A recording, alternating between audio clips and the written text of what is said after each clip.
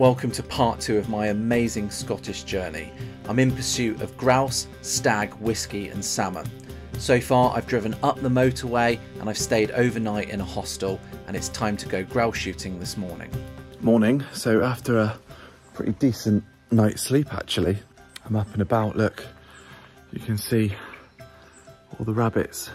Um, unfortunately, the weather isn't going to be looking good today. I can't wait to meet Peter, who I've known for a little while now.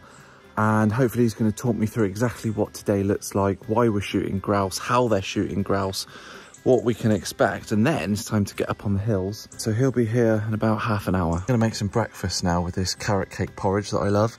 And um, this is a great bit of kit that I've taken a few places now. And it's just basically an oil, um, a bio oil burner and you just take that off that just douses the fire. And then you take that lid off and you will be able to see the oil that just sits up there. It's completely sort of smokeless. Um, there's no heat transfer down uh, at all. And it's just a case of lighting it like that. And then I always carry one of these enamel pans round now with it and I just put that on top. The porridge in add in your milk now it's just a case of waiting. And I reckon that'll take about 15 minutes to be ready. So it's a really, really cool bit of kit. I'll put the link in the description below. There you go, bang on cue, 15 minutes later, bubbling away nicely. It's thickened up and that is going to taste fantastic. There you go, you can see the flame a bit better now that it's warmed up. And then all you do to put that out, put the lid on it, boom, and it's out. Welcome to the glorious 12th. We are in the Angus Glens and today we are going to be uh, doing walked up grouse. Not driven grouse, but walked up grouse. Slightly different and hopefully when Alex uh, explains this later on in his video, you'll be able to see exactly what's going on. But we will be going up on the hill shortly. The weather's not that favourable, as you can see, there's a bit of high cloud up there, but we will uh, we'll endeavour to uh, bring you some good footage. Some may know uh, and be familiar with that uh, grouse appears as of today on uh, top London uh, restaurant menus. So the first grouse that will be shot on the hills of Scotland will be flown probably by helicopter and delivered and prepped and be served tonight in some of your top London restaurants. So the plan, we've got, as we've got Alex, the hunter-gatherer cooking up here, is to actually take those grouse straight off the hill and uh, butcher them and literally cook them up and serve them to our guests hopefully. So let's hope they can shoot straight and we, uh, we have a good day. Welcome to Scotland, welcome to Balnaboth everyone. The main deal today is to have a good day of fun. However, safety is paramount. Only shooting grouse in front. You can shoot grouse behind as well.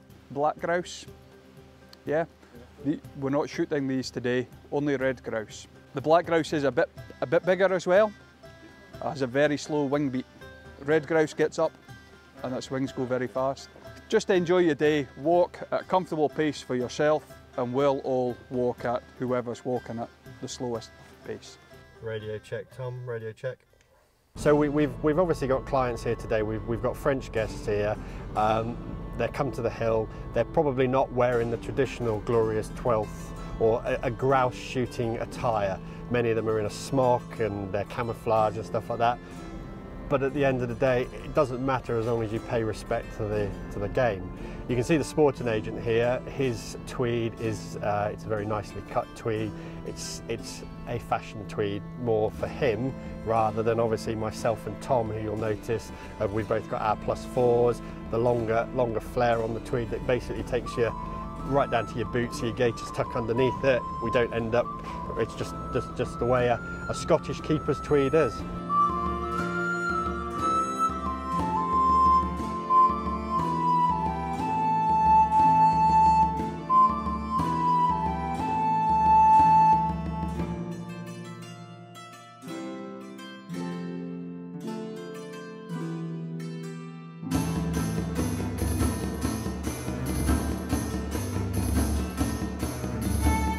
So when we just saw a grouse fly over, I was just explaining, um, they obviously don't get a, a, huge amount of height and they like to dip and dive, so it does make them the challenging, it's a challenging shoot.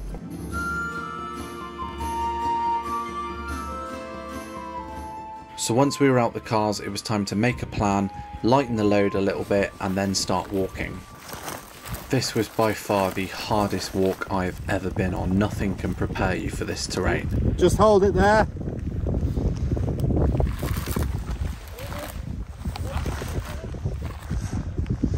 Hold the line so that we can basically go and retrieve the bird so we don't leave anything behind. Now, as an observer, I had no idea what was going on. The rain was absolutely smashing it down. I had my glasses on, couldn't see a thing, and it was just a case of just keep walking.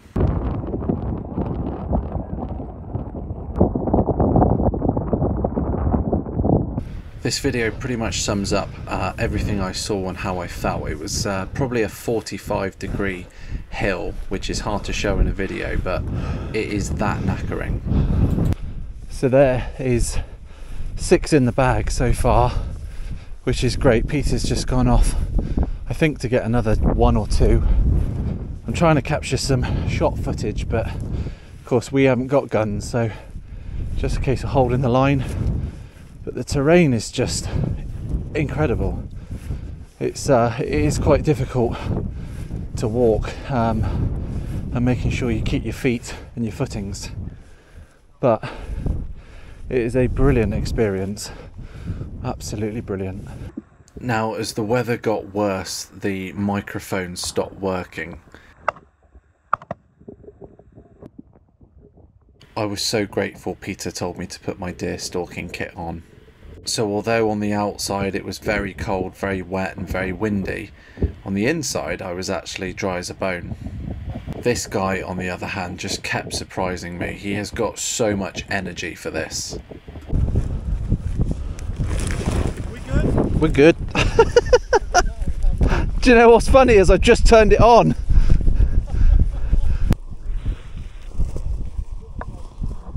Like a fucking goat, aren't you? Are we good? Good. Keep going. Now, at this point, even I could tell that we were on our way back to where we left the cars.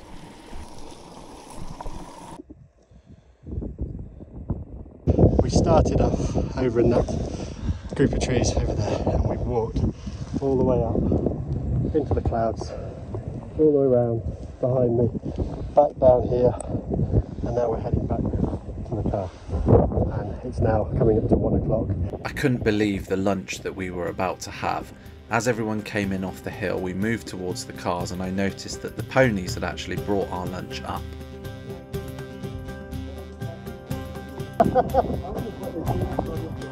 What are you having, young man? Gin and tonic or a beer? There you go.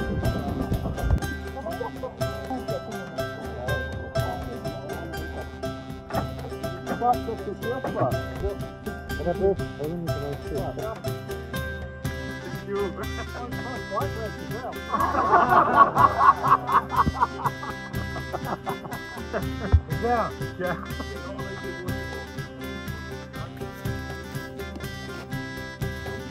a good sign. Yeah. The boot paw.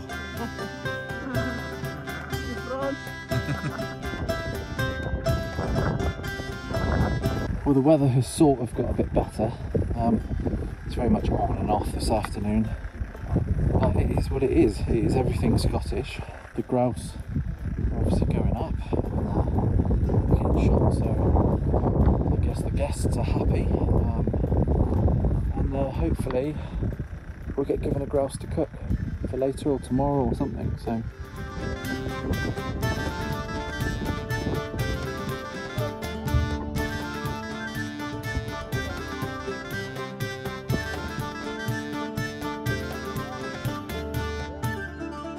Now, I just want to say a massive thank you to Tom, who's the gamekeeper here. He kindly invited me along and allowed me to film. If you're interested in doing anything like this, then I'll put all the contact details in the description below. There is a little bit more left of this video, so keep watching, keep subscribing, and hit the thumbs up button. So, the grouse day was absolutely amazing. It was hard work, seriously hard work. Um, you know, the elements do not make it easy for you at all, and the hills are crazy steep and the heather at times is so thick. But nevertheless, it was an amazing day. So I'm off to uh, a hotel tonight.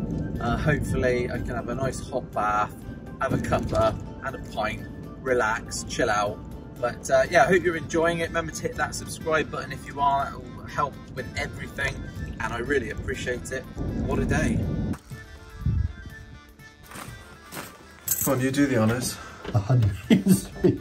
You're going to carry me over the threshold. I Can't even carry me.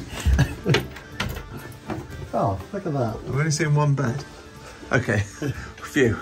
There are two. That two? Shotgun window? So thanks for watching this video. Part 3 is going to be where I actually shoot my very first deer and it's a red stag. It's a hell of a video, so make sure you subscribe and I will catch you for the next one.